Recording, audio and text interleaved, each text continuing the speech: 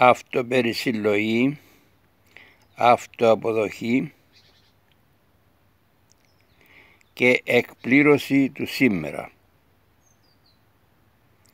Σήμερα και κάθε μέρα που περνά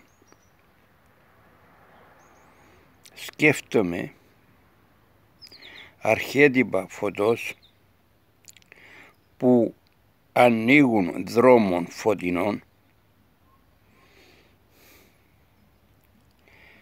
στο βαθμό που ελεύθερα ολόκληρος ο ανθρώπινος αυτόχθονος πληθυσμός του Κυπριακού χώρου να ζει ελεύθερα, αυτόνομα σε φυσικό κράτος. Εις πίστην δόξας